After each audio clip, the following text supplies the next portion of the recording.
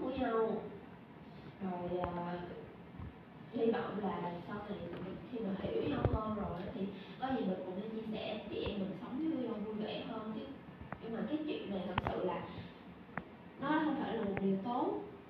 Hứa với chị hai là mình không có đi theo bạn bè để để tham gia những cái này nữa được không? Được không? Ok à, bây giờ đi vô tắm rửa đi. Chị hai nấu cơm xong rồi thôi bây giờ không nấu cơm nữa. Bây giờ dắt dắt đi ra ăn nhà hàng một bữa lớn thì lớn luôn nè.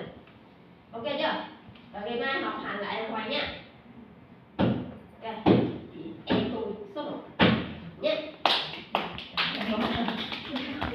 Đơn giản rồi, rồi nói chung là cái cảm xúc và cái cái cái cách bạn nói chuyện thì cũng rất là ổn và phù hợp. Đó là sao á mình có khả năng gì cũng đẩy những cái cao trào thôi.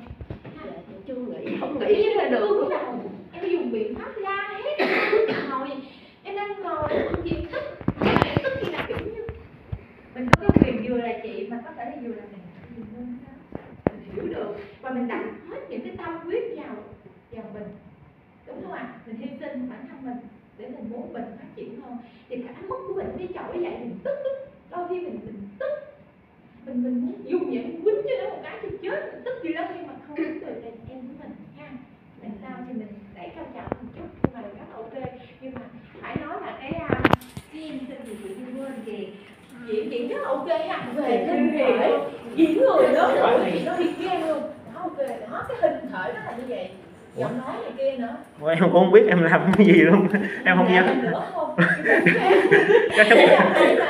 vỡ tim cô hay gì không khen thiệt. Lòng chị cố gắng phát huy nha. Rồi em. Ước mơ là đạo diễn em